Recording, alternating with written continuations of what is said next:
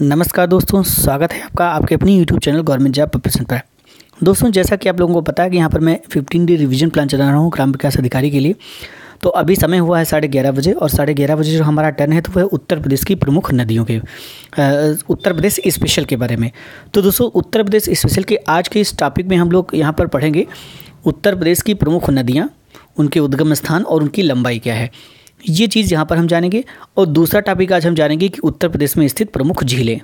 इन दो टॉपिक के बारे में हम लोग आज यहाँ पर इस लिस्ट में देखेंगे और पढ़ेंगे। कल मैंने आप लोगों को उत्तर प्रदेश की नदियों से संबंधित कुछ प्रश्न बताए थे, महत्वपूर्ण प्रश्न।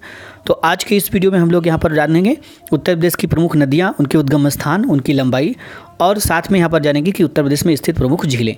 तो चलिए शुरू करते हैं आज का हमारा वीडियो सेशन तो देख सकते हैं आप यहाँ पर जो लिस्ट दी हुई है, इसमें आप लोगों को यहाँ पर बताता हूँ और आप लोग इसको नोट कर लीजिएगा, क्योंकि इससे भी क्वेश्चन आपके बन सकते हैं। तो अगर हम दोस्तों यहाँ पर बात करते हैं कि उत्तर प्रदेश की सबसे लंबी नदी जो कि मैंने कल आपको डिस्कस किया था तो वो है आपकी गंगा नदी और इसका जो उद्गम स्थान यह है किस प्रदेश में? ये उत्तराखंड में है और इसकी जो लंबाई है ये है 2525 किलोमीटर। ठीक है? नेक्स्ट दोस्तों आपका जो है यमुना और यमुना जो है, ये उत्तराखंड में इसका भी उद्गम स्थल क्या है? उत्तराखंड। और इसकी जो लंबाई है, ये आपका है तेरह किलोमीटर। अगला क्वेश्चन है आपका घाघरा।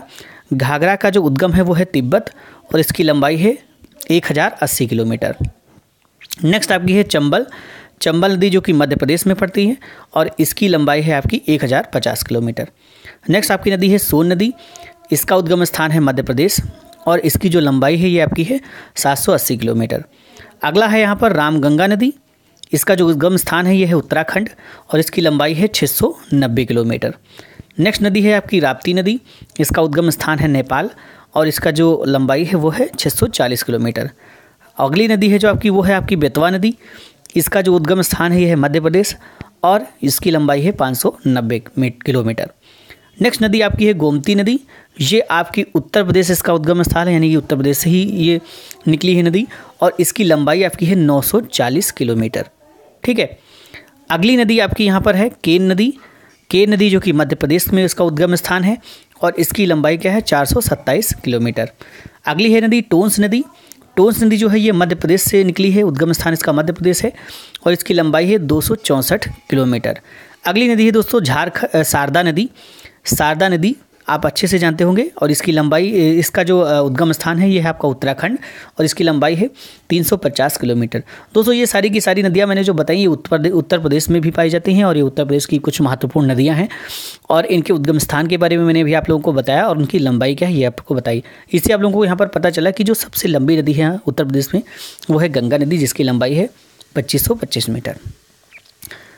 नेक्स्ट क्वेश्चन देखते हैं। अगला अगला हम अब पढ़ेंगे यहाँ पर। उत्तर प्रदेश से स्थित प्रमुख झीलों के बारे में और उनका स्थान कि वो झीलें कहाँ पर हैं।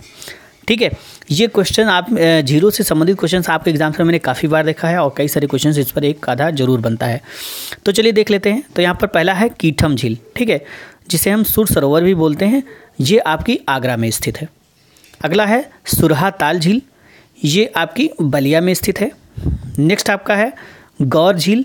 जो कि आपकी रामपुर में स्थित है। अगली है आपकी करेला झील, जो कि आपकी लखनऊ में स्थित है। नेक्स्ट आपका है बड़ा ताल, जिसे गोखुर बोलते हैं, ये आपका शाहजहाँपुर में स्थित है। नेक्स्ट है आपका भूंग ताल, जिसे विसैथा बोलते हैं, ये आपकी रायबरेली में स्थित है। अगला है आपका बरुआ सागर झील, जो कि आपकी झांसी में स्थित है। नेक्स्ट आपकी है राधा कुंड झील, जो कि आपकी मथुरा में स्थित है। अगली है आपकी कुंद्रा समुंदर जो कि आपकी उन्नाव में स्थित है। अगला आपका है बल्हा पारा झील, जो कि आपकी कानपुर में स्थित है। ठीक है नेक्स्ट है आपका है मदन सागर, जो कि आपकी महोबा में स्थित है। नेक्स्ट है आपका राजा का बाँध, ये आपका सुल्तानपुर में स्थित है। अगला है आपका टांडा डरी ताल जो कि आपके मिर्ज़ापुर में स्थित है। नेक्स्ट है आपकी औंधी ताल जो कि आपका बनारस में स्थित है। अगला है आपका यहाँ पर बेला सागर कृत्रिम झील जो कि है तो ये बेला सागर एक कृत्रिम झील है, याद रखिएगा। और ये एग्ज़ाम में कई बार पूछी गई है तो ये आपकी महोबा में स्थित है। नेक्स्ट है आपकी मोती झील, ये भी एग्ज़ाम में कई बार पूछी गई है, ये आपकी कानपुर में स्थित है। अगली है आपकी चित्तौरा झील, जो कि बहराइच में स्थित है। नेक्स्ट है आपकी रामगढ़ ताल, जो कि आपका गोरखपुर में स्थित है। ठीक है अगला है आपका दरवान झील, जो कि आपका फैज़ाबाद में स्थित है, और नेक्स्ट है आपका सेखा झील, जो कि आपकी अलीगढ़ में स्थित है। तो दोस्तों, ये सारे पॉइंट आप नोट कर लीजिए। बहुत ही महत्वपूर्ण यहाँ पर मैंने पॉइंट्स बताए हैं।